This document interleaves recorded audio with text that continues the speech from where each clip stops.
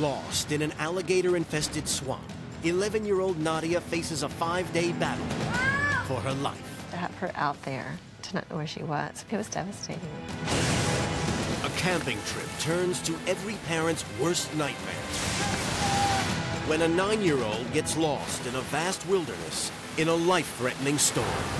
I believe that my son was dead. A 17-year-old crashes her dad's SUV. Literally, she vanished. And disappears without a trace. You can't hide a truck that size. How long can these kids survive? It's no longer a rescue mission, but a recovery mission.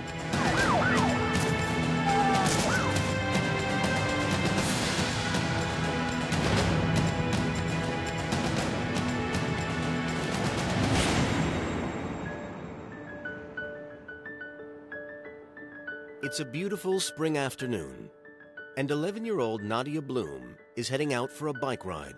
I read a book about nature and I thought I wanted to see some for myself. I wanted to get out there, I wanted to explore. Nadia suffers from Asperger's syndrome, a form of autism that means she sometimes has difficulties relating to people and an obsessive interest in certain subjects. Her greatest passion? The natural world. It's like so amazing. So many things animals can do that we can't. 300 yards from Nadia's home sits a conservation area with two large freshwater ponds. Nadia's excited to take some photos with her new digital camera. The pond near my house, it's pretty cool. I go there just to snap photos. It's very peaceful, except for the fact there are alligators. But what Nadia is secretly interested in is the woods beyond the pond, where nature really gets wild. It's a place she's been told never to go into alone. So this is what the world beyond buildings is like. There are no buildings, no, no pollution. It's just awesome. But this is no wonderland. The woods are alive with deadly snakes and spiders. And they open on to the swamps of Lake Jesup, home to 10,000 alligators. Less than half a mile away, Mom Tanya wonders why Nadia isn't yet home from her bike ride. Our neighborhood's very small. We live in a gated community. 20 minutes, she should have been back. I went out the front door thinking she's going to circle around the neighborhood and I'm going to say, you know, time to come in. Unable to see Nadia, Tanya drives around the neighborhood. Eventually, she reaches the pond. I walked out there and my first reaction was, I don't see her. And I just grabbed the baby out of the car and started calling her name. Nadia! She's always told Nadia never to cross the water and go into the swamp beyond. Nadia! But when she gets to the forbidden boundary, she's in for a shock. Just to see her bike there and not her. It's just like when a mother goes to the store and, you know, for a second turns her back and the kid goes around another aisle. You know, there's a moment, oh, where's my child? But you always turn around and you find them, and I can't find her. And there's no immediate, oh, there you are. Nadia! Each time I called her name, it became louder and more panicked. Nadia! Nadia! I can't believe I have to call 911. Nadia! Nadia! I'm trying to keep myself calm, but at the same time, to have her out there, to not know where she was, was it was devastating.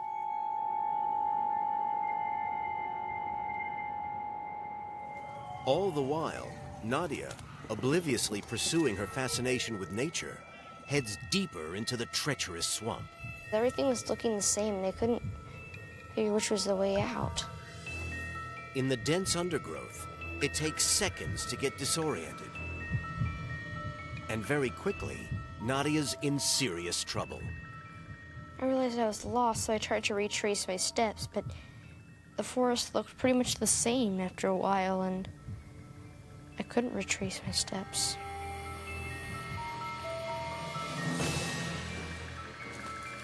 As she wanders through the swamp, her situation is about to get worse. I lost my glasses. I, I almost cried because I'd relied on my glasses for a very, very long time and Barely able to see, the already confusing swamp becomes a hopeless blur. Spotting predators will now be impossible. What chance is there that Nadia can make it out of the woods alive?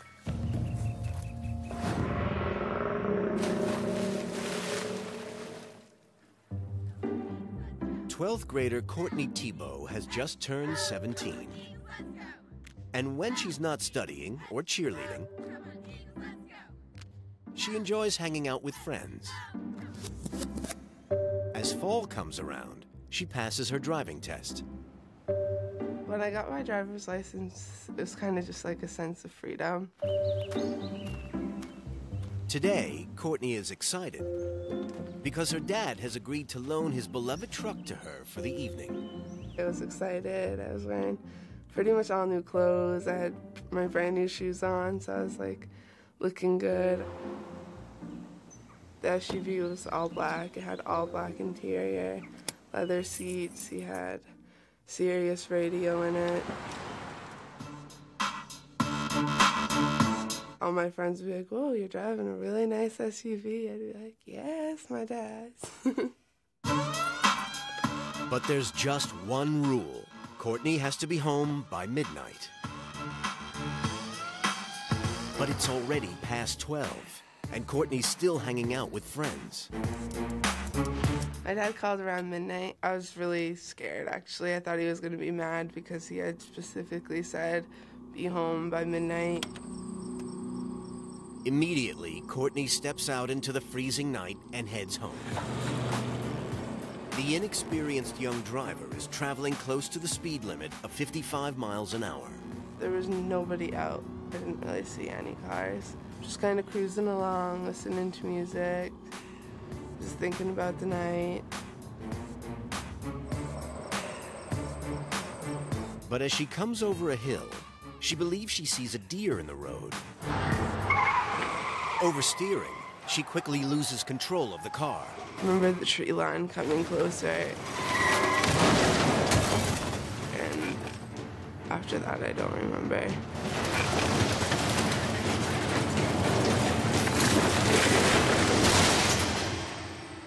Coming up, in a treacherous mountain range, a nine-year-old Boy Scout faces a freezing night in a terrifying storm. Lost in the wilderness, alone. I had an absolute fear for the welfare and safety of my son.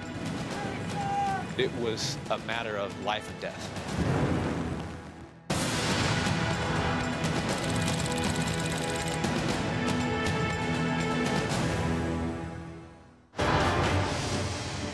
On a freezing November night, Kourtney Tebow has crashed her dad's treasured truck into a ravine.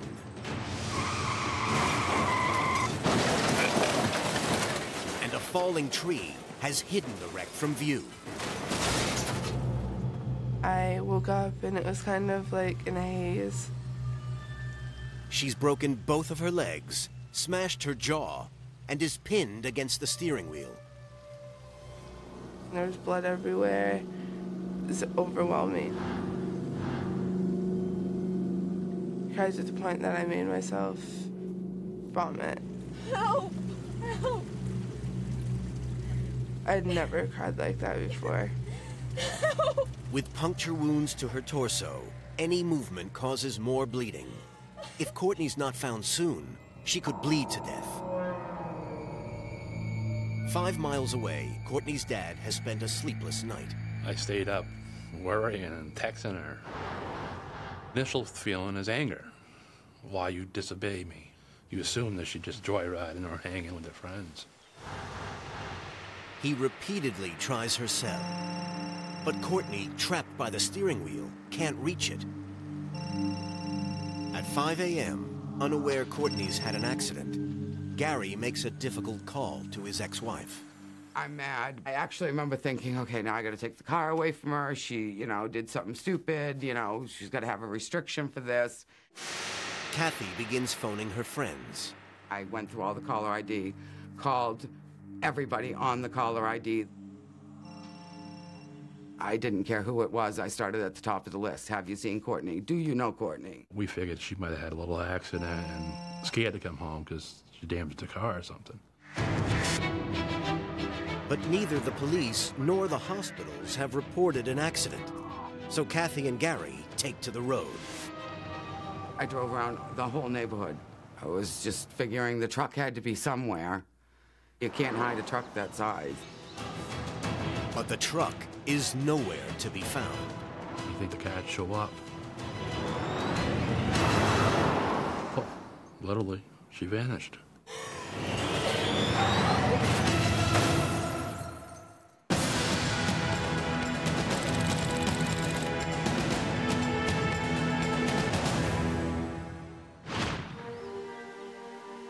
It's the middle of summer in Utah, and 10,000 feet up in the mountains, nine year old Grayson Wynn is on a very special camping trip with his dad and brothers. I was really excited to go on the backpacking trip. I like camping, hiking, fishing. I like the outdoors a lot. Dad Keenan is proud to bring his son on the trip. These type of experiences don't come along all the time, and so it was very important to me that all three of my boys be able to participate. My wife did share concerns of his age. She didn't put her foot down and say, no, he absolutely can't come. I had to promise that I would keep an extra close eye on him. I thought that I was growing up. I wasn't a little kid, and I really did not want to stay home and play with the girls. After five days of camping and fishing, it's time to break camp.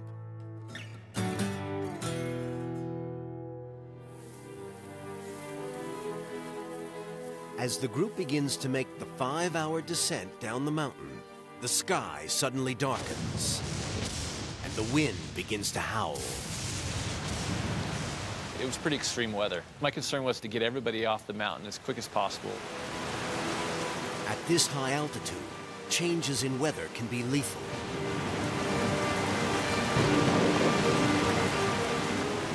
The horses struggle on the treacherous terrain, and Keenan is forced to stop. The pack saddles had come loose. It took several of the adults to help to get that saddle re-tightened up.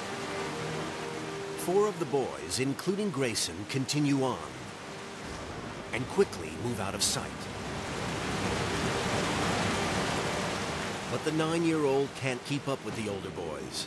And when he comes to a fork in the trail, he heads in the wrong direction. It's not until his dad reaches the parking lot that anyone notices Grayson's missing. My dad was the last one out, and, uh, and he was number 14. And I instantly knew we were missing somebody, and it just it took a matter of microseconds till I realized it was Grayson. Where's Grayson? What? In the raging storm, lost somewhere in the vast million acre forest, is his youngest son. I had an absolute fear for the welfare and safety of my son. I instantaneously recognized that it was a matter of life and death. With three hours until darkness, Grayson is in serious danger. Treacherous ravines, mountain lions, and wolves all hide in the forest. But in this storm, Keenan's biggest concern is the potentially freezing night ahead. Hypothermia is a very real concern. If you're in an accident in an advanced state of hypothermia, you're so far from civilization, you are truly all alone.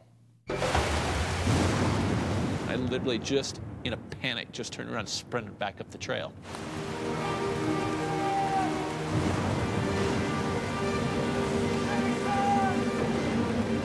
Was just a, a howling of the wind that suppressed any yelling effort. Yet, uh, I, I, I couldn't turn back. I needed to close the distance between a father and a son. Coming up, In freezing Maine, Kourtney's parents pass within yards of where their daughter lies dying. I'm gonna get hypothermia, or I may even die of hypothermia. How will Kourtney survive the night? I thought I was going to die.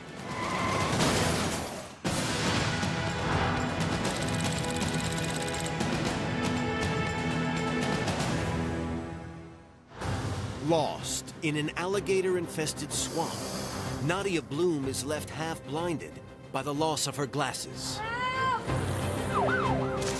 A massive search and rescue operation is underway.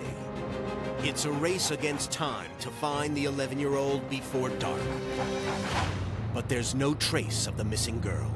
As it got darker, before we knew it, there was night vision goggle people and, and SWAT teams walking the woods. And I know the word surreal is very cliche, but that's the only word I know how to describe how it was. Are you guys okay there? Everything okay? I start to worry, you know, because she's she's got to be cold, and I'm thinking this child's wearing basically nothing. She has shorts and shirts. How how she feel?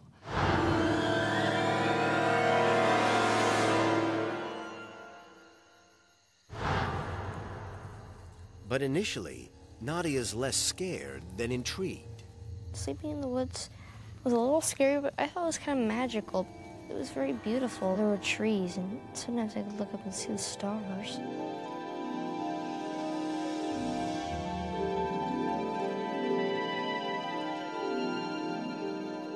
I think an owl turned its head to me and hooted as if to say, You will survive. I know it. You will survive.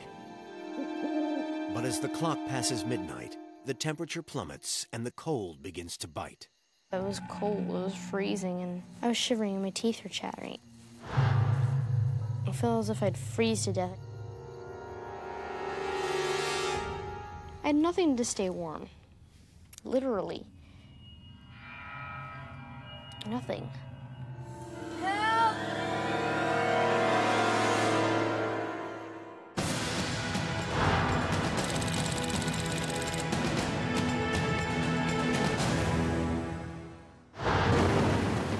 Vast million acre forest, Grayson Wynn was last seen descending a mountain in a fierce storm. With an hour until dusk, Grayson is increasingly scared. It took about an hour before I realized that I was lost. I, I was yelling and trying to see if anybody would hear me.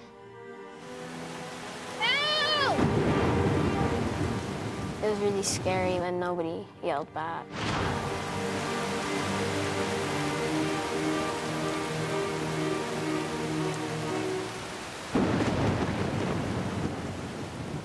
Struggling on the treacherous terrain, in an attempt to cover ground more easily, Grayson decides to abandon his backpack. It was kind of starting to feel a little heavy. My shoulders were getting sore. But by dropping the pack, Grayson has discarded the very thing that will enable him to survive the freezing night ahead his sleeping bag.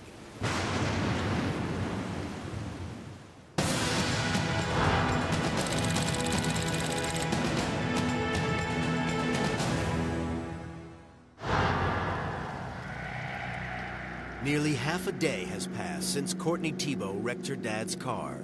She's broken both of her legs and lost a serious amount of blood. She's barely 60 feet away from a highway where 20,000 vehicles pass each day. Yet camouflaged by a tree, no one sees her. Not even her parents, who pass within yards of where their daughter lies dying. Nobody knew where she was. Nobody. Maybe she was abducted. I didn't want to believe it. I didn't want to think of that, even though in the back of my head I was thinking it. The more time that passes, the less likely she'll be found alive. It was just prior to darkness when we started making flyers. We handed out flyers to everybody, thousands of them. I had a hard time handing them out. I could not hand them out to people. I couldn't explain to people that my daughter's missing. After we handed out flyers, there's nothing much we could do. We done everything. We looked everywhere, drove everywhere. Everybody looked. Nothing. In the dark ravine, Kourtney, trapped, alone, and in pain, seeks any comfort she can find. My dad had a big cop flashlight that he always had in his truck for if he broke down or something. So I had that. I turned that on at night so I wouldn't sit in the dark. So it was scary. I tried shining it in the woods. I was hoping that it would help somebody find me. But still, no one comes. Her body's in shock from horrific injuries that include a broken jaw and crushed legs. And freezing temperatures could cause her organs to shut down. I'm freezing, like teeth chittering, my body shaking because I was so cold. I was thinking, oh, I'm gonna get hypothermia, or I may even die of hypothermia. I thought I was going to die. Coming up, police failed to trace Kourtney's phone. I was so confident. How could she be wrong?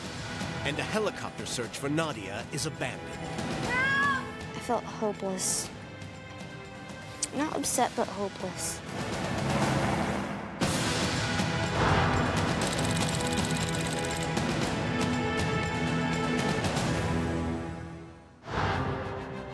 Alone in an alligator-infested swamp, Nadia Bloom has spent a day searching without her glasses for a way out. As a helicopter searches from the air, ground rescuers cover themselves from head to toe to protect from snakes and mosquitoes. Cutting through the undergrowth with machetes. But dressed only in a small t-shirt and shorts, Nadia is exposed to bites. She's also lost the shoes that protect her feet. Mosquitoes are so annoying. They were all over my arms, legs, face, neck, feet. And it, and it, and it was extremely painful. Nadia has had no food or water for over a day. As the temperature hits the 90s, she's at risk of severe dehydration that could cause vomiting and unconsciousness. People would come up and say, you know, she's a smart girl. She's going to come walking out of those woods any minute. And I'm thinking, you're just supposed to be saying that to me. Nadia's smart, but she's book smart. She's not survival smart.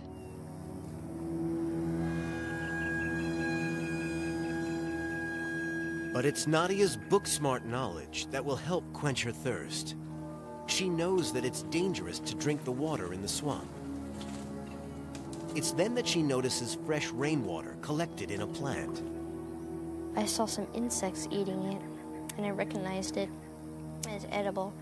The insects didn't die or anything, so it wasn't poisonous, and I think I recognized it as water hyacinth, which is an edible plant.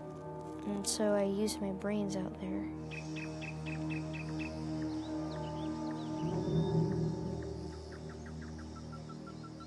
But the small sips of water will only stave off the effects of dehydration temporarily. Suddenly, Nadia hears a helicopter overhead. I saw the helicopter, I, I heard it say my name, so I knew it was looking for me. So I tried to get its attention by, by calling out to it. Although she can see the rescue craft, for the searching pilot, it's impossible to spot her through the thick triple-layer tree canopy. Using infrared cameras that sense temperature changes, the pilot tries to locate Nadia by looking for a match to her body temperature. Over here, help! I followed it, thinking it would be a chance of finding my home. But in the searing Florida day, the air temperature in the swamp is the same as Nadia's body heat. And the aerial search is abandoned. Sometimes I feared I would never get out. I felt hopeless. Not upset, but hopeless.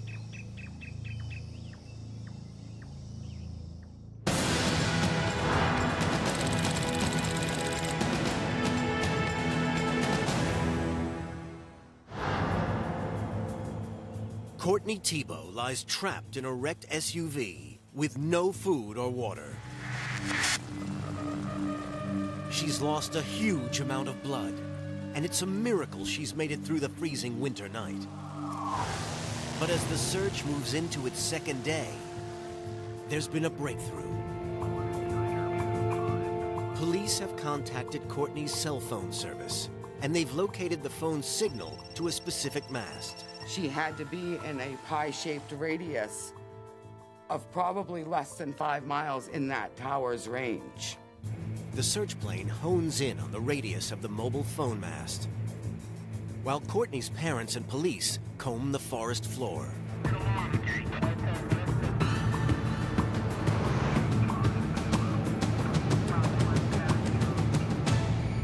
I was so confident that that woman from the, the phone company was right. How could she be wrong? You know, the, these people know what they're talking about. They've got to do. You see it on TV. Yet the search reveals no trace of Kourtney or the missing vehicle.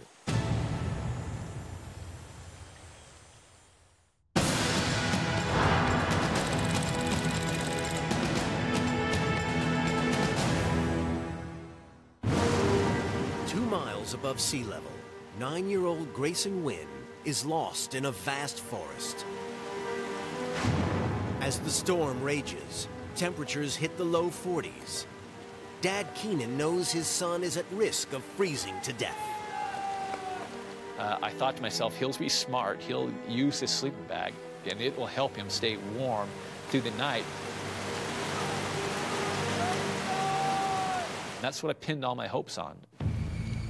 But Grayson is without a sleeping bag since he discarded his backpack. Soaked to the bone, Boy Scout Grayson has constructed a rudimentary shelter. I still got wet, but I think it helped a little bit. It was too cold for me to fall asleep. Now suffering the effects of hypothermia, time is running out for Grayson. I prayed that I would get found and that light would come.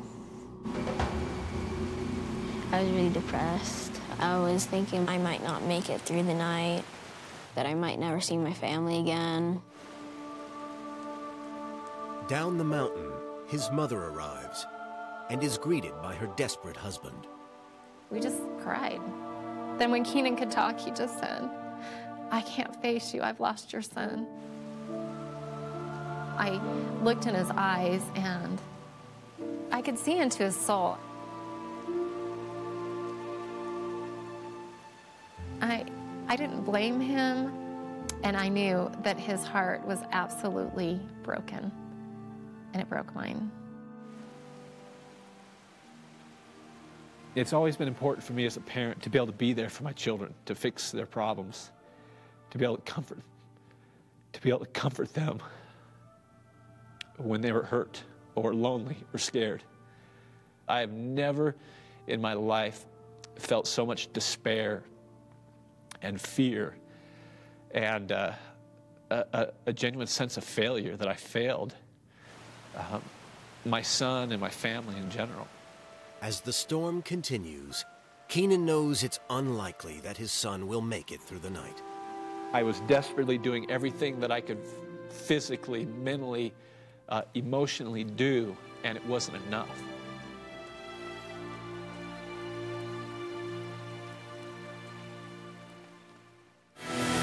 Coming up, Nadia loses hope. Maybe they think I was dead. I wasn't dead. While evidence is found that suggests Grayson hasn't survived. It was no longer a rescue mission, but a recovery mission.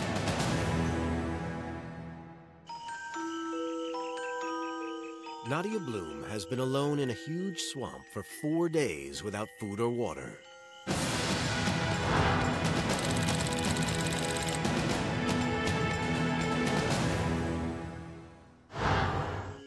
Half blinded by the loss of her glasses, and having lost her shoes, the open cuts on her feet have caused her to pick up a blood infection that needs urgent treatment.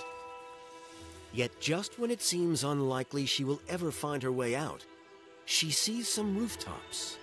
I thought I saw a house, that was green with a white roof on it. I could see it, it had a swing on the porch.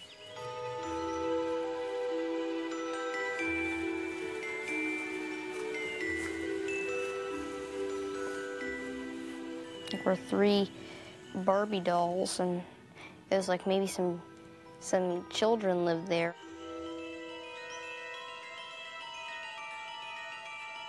And I was thinking, if I went there, maybe I could ask for directions.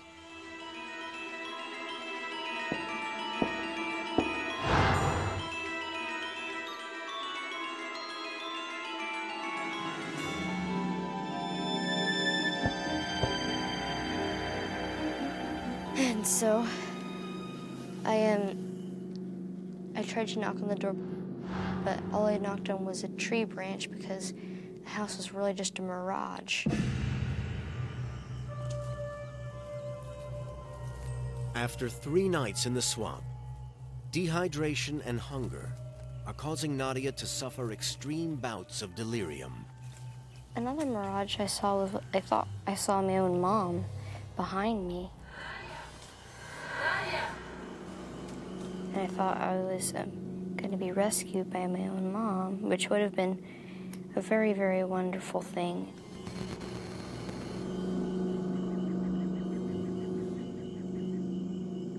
I was fighting against crying because I thought I was going to be helped. I just didn't want to cry because I would be embarrassed even though there was nobody around but me.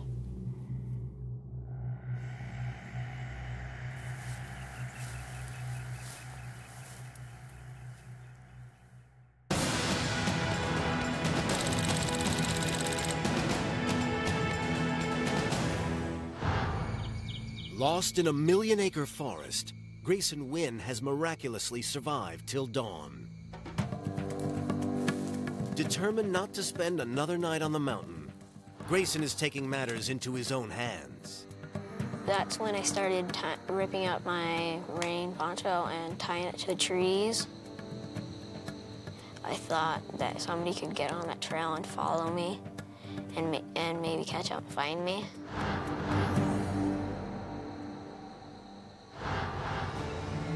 Meanwhile, as the storm recedes, a search helicopter takes to the air. As we searched, I heard the helicopter fly. I expected at any moment to get news hey, we found him, we found him. News comes over the radio. It's not the yellow strips of plastic, but Grayson's backpack that's been found. So I'd heard that they had found the backpack. I was just ecstatic. And so in my mind, I thought, this is good news, right? And so I had run into the search and rescue and I had actually said that. Is it good news? Is it good news? But Grayson is not with the backpack. I needed to know if his sleeping bag was in the backpack. Because in my mind, everything that I'd been able to visualize through the whole night was that he was going to use a sleeping bag. And they radioed back and said everything appeared to be intact. And I just felt and slumped to the ground.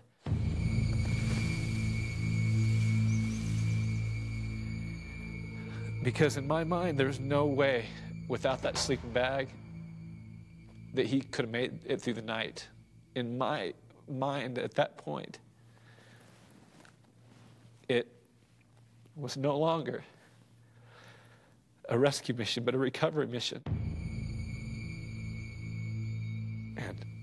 I couldn't be a part of that.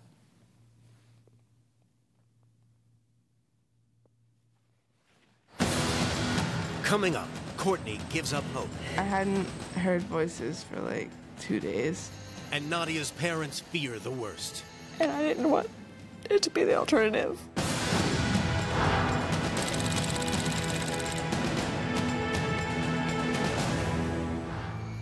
A fourth night falls for Nadia lost in the swamp. She knows her chances of making it to a fifth morning are slim.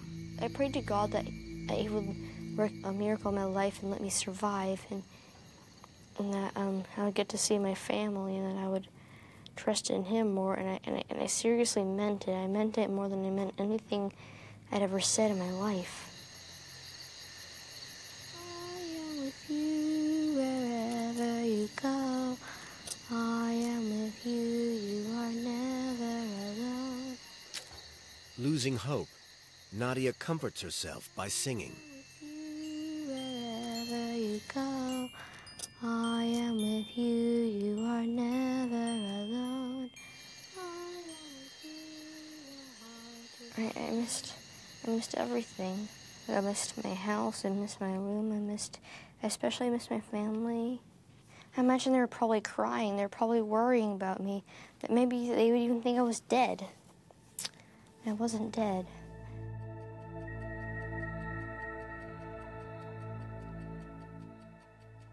You wrestle because you know the ending could be a very bad alternative.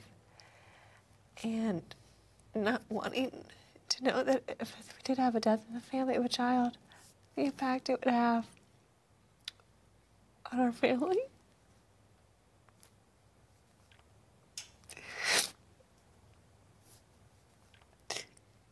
And I didn't want it to be the alternative.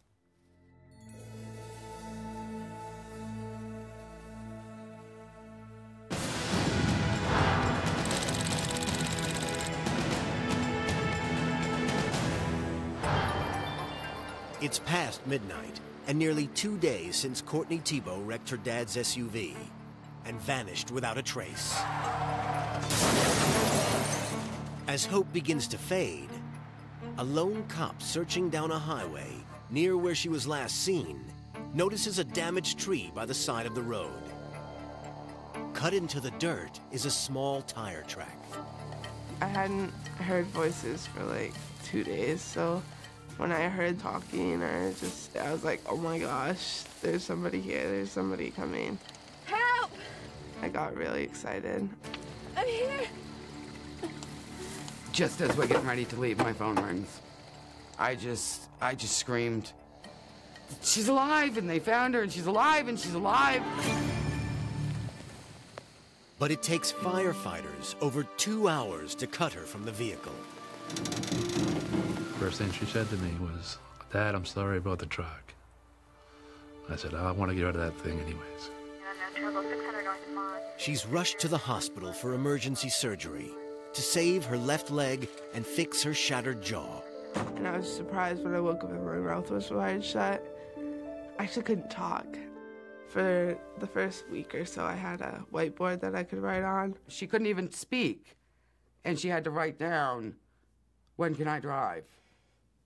Well, let's start with talking and walking, then we'll talk about driving. It takes several months for Kourtney to be able to walk again.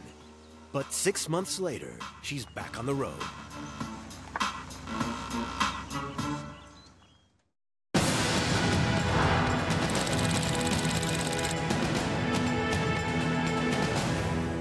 After 20 hours searching, Keenan Wynn is coming to terms with the idea that his son is no longer alive. I believe that my son was dead somewhere on that mountain.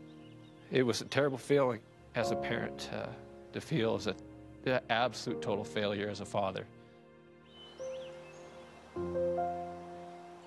Then a radio transmission comes through.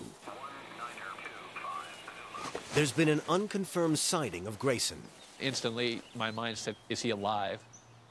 And I just sat on a log and waited. Um, scared to hope, scared what the bad news might be. Finally, the radio crackles back to life.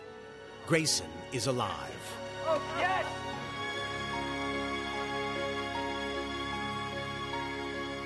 I collapsed again just out of joy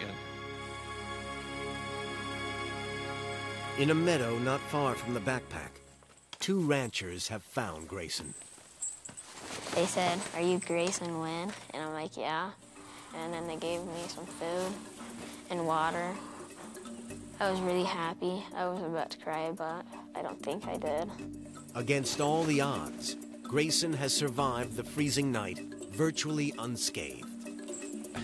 I don't think the human mind and emotion and heart was designed to go from that low to the high that I went because it would just, I don't even think I walked off that mountain. I think I more floated off of it.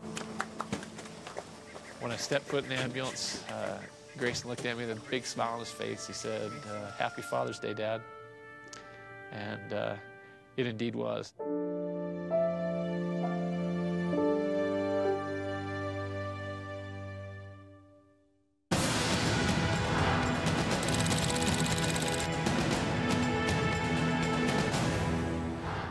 In the swamps of Orlando, Nadia Bloom, lost for five days without food or water, has given up hope of ever being found. I I heard somebody calling out, Nadia, are you there? And my ears immediately perked up. Nadia! After days of strange visions, Nadia does not know if she can trust her ears. Nadia! It's like, it was the first human voice I'd heard in a long time. I was like, yes, I am here. I'm right in the middle of the forest.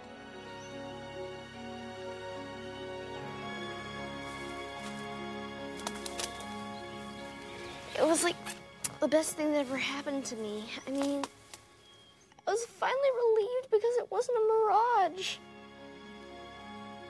Incredibly, after four nights alone in the swamp and a search operation involving hundreds of people, Nadia has been found by a local volunteer. When James King told dispatchers he had found Nadia, they wanted to hear her voice. Hi, this is Nadia, and I'm the girl who got lost. But police failed to get accurate coordinates from the mobile phone, and the helicopter can't locate them. When King found her, they were in such a densely wooded, swampy area that it took rescuers hours to reach them. Thinking on his feet, King unfurls two rolls of toilet paper, making a sign visible from the air.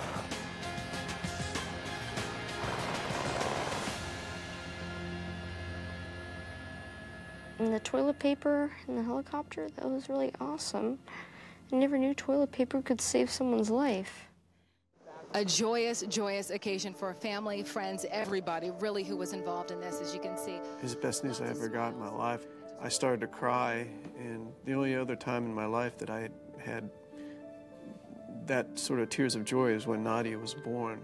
Elated, ecstatic. I mean, there's just the English language, you know, you have these really great words, but it doesn't really encompass the feelings you felt. You know, it was just incredible.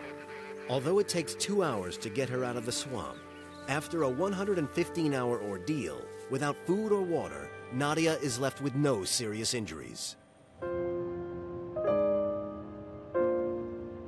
When I saw my neighborhood, I felt like I was more relieved than I would ever have thought I would be.